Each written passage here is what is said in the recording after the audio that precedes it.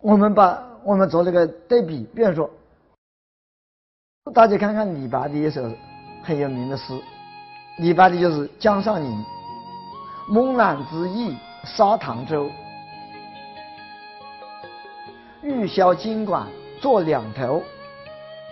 美酒斟中自千壶，再寄随波任去留。”你看到李白，你和我听懂了没有？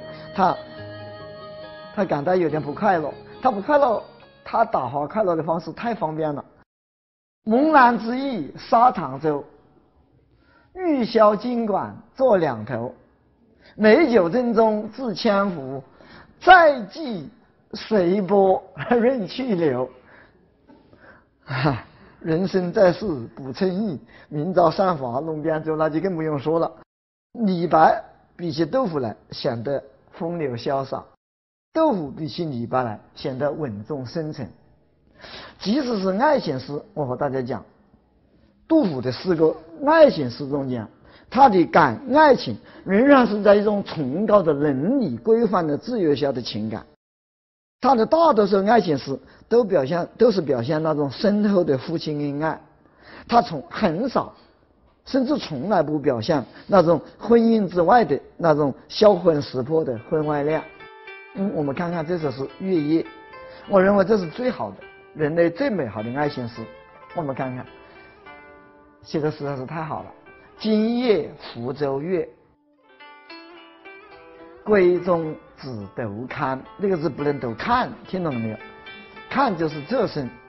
闺中只独看，遥怜小儿女，未解忆长安。香雾云鬟湿，清辉玉臂寒。何时衣虚晃？双照泪痕干。这首诗真是写得很好，可以说大都不一样。我们来看看他写的什么名堂。他写的时间和那个“古破山河在，城春草木深”大体上同时，略微晚一点。因为国家大难，暗时大难，突然的暗时来的，大难来了以后，那个时候大家都知道通信很糟糕。他其中“国破山河在”中间，大家记不记得有句说“烽火连三月，家书抵万金”，记得吧？“恨别鸟惊心”，记得吧？他不知道妻子儿女的消息。这个福州在长安的郊区，你看看。杜甫这个时候，他一个人在长安的月底下，这首诗说白了就是想老婆，他的主题思想就是想老婆。我们看看他怎么想，从这个想中间，我们看看他有哪些特点。他说：“今夜福州月，闺中只独看。”本来是杜甫一个人在月，这个时候杜甫三四十岁。一一一个壮年男子，一个人离开了夫人，一个人在长又叛军呢把长安围了，他出不去，他一个人在长安的月底下这样在走，像这样走，自然就想到了太太，听懂了没有？他偏偏不说他想太太，他要说今夜福州月，闺中只独看。他说今天的我的太太。在月亮底下看月亮，想我想的要命，这怎么办呢？看到没有？古人叫这种写作手法叫从背面着笔。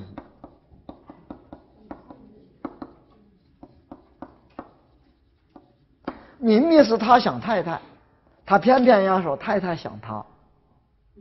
大家可以看得到，这首诗，大家，大家这首诗大家可以看得到。他的写作手法，他这种写作手法叫委婉，叫曲折，对吧？他写的非常委婉和曲折。明明是他想太太，他偏偏说太太想他。这里面还包含着一种什么东西？杜甫是个好丈好丈夫。他说我的太太在月亮底下想我，想的要命，这怎么办呢？他没说太太想的，他想太太。第二句、第三句，大家看看，他说今夜福州月。闺中只独看，第三四句就仅成第二句，遥怜小儿女，未解忆长安，就写闺中子斗看。三四句进一步写生卒写轴第二句，在结构上大家看懂了没有？遥怜小儿女，未解忆长安。很多人把这句话理解的不对，他说是可怜我那些小儿女啊，还不懂得怀念他的长安的爸爸。像这样的理解就全错，听懂了没有？全错了，为什么？他是紧接着的第二句写“闺中子斗看”的。今夜湖州月，闺中子斗看。为什么？为什么是写想到了遥怜小儿女，未解记忆长啊？他是进一步写斗看的，对吧？因为他的在家里的在福州，不仅仅是有太太，还有什么？还有儿女，怎么可能是斗看呢？他说遥怜小儿女，未解异常啊，解就是理解懂得。说可怜福州的那些小儿女啊。不理解他妈妈忆长安的心事，听懂了没有？男的和女的不一样，这是文化，尤其是因为我没有到过美国，美国的女性是不是敢这样说？我不知道。我们中国的女性跟男性有很多不一样。比如说，一个男的和他的太太分别了几个月，他可能到朋友那找，放去，到朋友家里去说：“哎呀，几老婆离开了好长时间，真是想老婆。”但但老婆不能到朋友家去就说：“哎呀，离开了丈夫几个月，真是想老公。”很难，很少有人这样表达感情的，很少有人。但人的表达，因为女性跟男性不一样，女性跟男性不一样。比方说，杜甫家里他的太太杜太太家里有儿女有女，又比方说我们这是三楼。杜甫他的太太窦太太把他的儿把他女儿送到床上去睡了觉以后，他一个人跑到阳台上去看月亮想杜甫，听懂了没有？月亮底下看月亮想着老公长安的老公。他的儿女不理解妈妈，他可能有个小儿子说：“妈妈一个人在阳台上干什么呀？你回来吧。”他的杜太太不能说：“你们好好睡觉，我在阳台上看月亮想着爸爸。” 他不能这样说，听懂了没有？所以遥怜小儿女。未解忆长安，他写的特别好。这个是写写他的儿女不理解他的妈妈想长安的心思。未解忆长安，这叫曲折，这叫委婉，他写的特别好。大家再看看底下，香雾云鬟湿，清辉玉臂寒，这两句写的实在是太好了。香雾云环，清辉玉璧，实在是漂亮极了，听懂了没有？香雾云环，清辉玉璧，写的实在是太美了。好，我们再看看五六句仅成第一句，在内容上看懂了没有？五六句就仅成前面的“今夜福州月”，看懂了吧？那个清辉是什么？月亮的光辉，香雾云鬟是为什么？他的老婆在阳月亮底下看月亮的时间太长，露珠把他的头发都怎么样啊？打湿了，所以有香雾云鬟。唐朝的女性到底是用什么香水？我们不知道，听懂了没有？他到底用什么弄的头比较像？肯定有香水或者香粉之类的，是，而且我敢肯定，比今天的绝对安全和健康。听懂了没有？因为它纯天然的，听懂了没有？今天是绝对的不纯天然，我敢保证有问题。但到反正我也没有用过，到底有什么问题我也不知道，肯定有问题，对吧？他说。香雾云鬟诗写的真是有诗意，美极了。因为他的他的窦太太在月亮底下把头发都打湿了，可见望月之久，思念之深。听懂了没有？而且清辉玉臂寒写的非常之美。他的太太在春天的夜晚是玉臂，哎呀，美的不得了。而且玉在。银白色的月光底下，他那种玉臂寒，时间太长了。那表达的什么？杜甫对他太太的关切，说：“老婆哎，你别在月亮底下看月亮，时间太长了，别想我了，听懂了没有？露寒，夜深露寒。啊，怎么说吧？老公对妻子的那种关心，那种无限的爱。还有，我和大家注意，杜甫这个时候四十出头了，他结婚已经结了二十多年。为什么古代的人结婚结得很早？不像我们今天搞到三四十岁还到处在登广告要找老婆找老公，古代人，古代的人真的跟我们今天是不一样的。我经常我经常就想，古代人比今天幸福多了，压力也不像这么大。那个时候四十多岁了，杜甫，大家注意，他四十多岁了，他的太太也是四，至少是四十岁左右了，你看。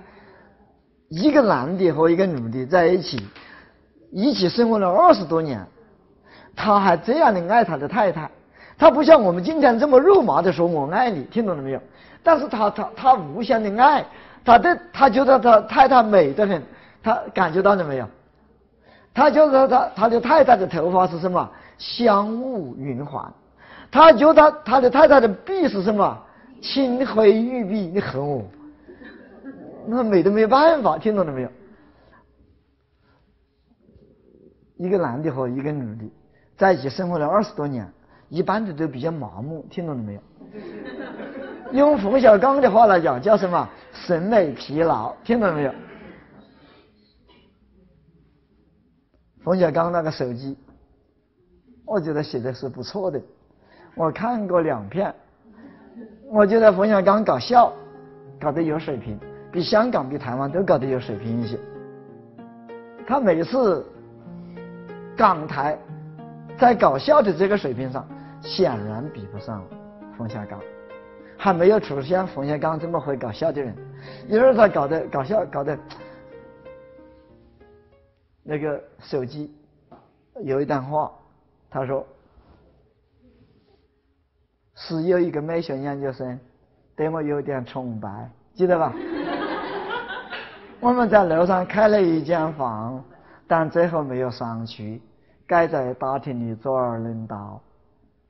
我心里一直在挣扎，想来想去，有点怕麻烦。听到没有？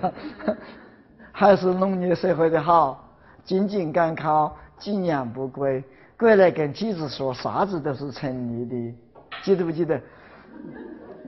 我我觉得他有点幽默感，对吧？他说和太和我的太太在一起二十多年了，现在是有一点审美疲劳，对吧？杜甫没有审美疲劳，大家看到没有？对吧？你看，香雾云环湿，清辉玉臂寒，他觉得他他的太太美的没有办法，这种爱，这种美，这种。这种对对他太太的欣赏，这种爱，哪个嫁给杜甫了？我告诉你，一辈子走运，听懂了没有？他可能不不走运吗？好，香雾云环湿，清辉玉臂寒。我和大家讲，这只有丈夫写妻子的时候才是比较非常好的。如果他要说别的女人，那就有一点轻佻，听懂了没有？对不对？那就有一点轻佻。这大大家看看前面的六句，全部是从对面作笔。他表达感情的方式真的是不一样。李白有一次有一首诗是这样写的：他在路上遇上了一个一个女孩子，我跟大家讲过，骏马交行踏落花，扬鞭五虎舞侯车。美人一笑千珠箔，遥指红楼是妾家。他完全是写他的外遇，写的很浪漫，对吧？写的很浪漫，写的很漂亮。但比起杜甫这首诗来，我觉得两个人不会有道理记。在这一点上，不是说他不伟大，你把这个家有的时候管不住自己，听懂了没有？杜甫就情况不一样了，他前面的六句完全是从。用我们现古人叫从对面着笔，我们现在叫这种写作手法叫什么？化虚为实，对吧？化虚为实，那全部是假的。他太太是不是真在月亮底下看月亮想他了？我看也未必，听懂了没有？他完全是假的，他完全是想象中间的，他把想象中的东西写得活灵活现。我和大家讲，你一般杜杜甫表达感情的方法，在这里是非常委婉、非常含蓄的。我人类的感情，表达感情的方式，人类的性格千差万别，但大体上分别就是荣格说的，一种是外倾，一种是内倾。就是一种是外向型的，一种是内向型的。外向型的人表达感情的方式，比如女性，外向型的，我我在家里想，外向型的女性要怎么表达？内向型的女性要怎么表达对丈夫的爱？比如说，丈夫分别了三个多月，丈夫突然回到家来了，一个外向型的女性马上就要跟丈夫说：“说老公，你在外面三个多月，我这是想你想死了。”听懂了没有？这是外向型的。内向型的要到夜深人静，跟到他的老。跟她老公说：“老公，你在外面三个多月，你在外面想我不想？听懂了没有？那就是外向型的，听懂没有？是不是这样？对吧？”杜甫在这里表达的就很含蓄，很很细腻。他是写老婆不断的想他，老婆想他，他表达的感情表达的特别好。最后两句，最后两句就直抒胸臆。何时依虚华？双照泪痕干。他说：“我们什么时候夫妻团聚？我们什么时候夫妻团聚？团聚了以后抱头痛哭。难中的夫妻感情特别深，听到没有？我们在夫妻团聚，我们抱头痛哭，夜深人静，我们抱头痛哭，哭完了再把对方的眼泪擦干呢？你看，双照泪痕干，写的真是非常深挚，非常啊，这种。”这种爱情诗写的特别好，那么这首爱情诗是个什么东西呢？为什么我一直在想，为什么没有相见时难别亦难，东风无力百花残那么传颂呢？我告诉你啊，那是人类的劣根性，你知道吧？夫妻太太总是别人家的漂亮，听懂没有？这是写的深厚的夫妻恩爱，那是写的销魂识魄的婚外恋。对吧？人类的对他那种感觉是不一样的，感觉是不一样的。那么杜甫的爱情，他也是在一种深、一种崇高的伦理规范下的爱情。他很少写婚外恋，他总是写深厚的夫妻恩爱。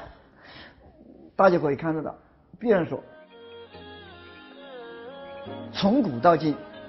很多爱情诗都是写的婚外恋，最好的还了不起就是写个单相思，在西方也是这样，写对丈夫丈夫写对妻子的爱情总是写不好，听懂了没有？一写到婚外恋就写得激动人心，所以有一个海业说，爱情就是我的罪恶，可是我什么意思？大家知道吗？爱情就是他的罪恶，原因是什么？就是应该是说的。在婚姻不自由的时代，真正的爱情，他要到婚姻以外去寻找。听懂了没有？其实我们很多爱情是，比如说“春心莫共花争发，已趁相思已趁灰。十年一觉扬州牧，赢得青楼薄幸名。”都是拈花惹草的爱情。只有杜甫，他是写的深厚的父亲恩爱。我们底下是杜王慈氏在杜毅中间的，大家看看。当然，看评价这首诗，大家看看。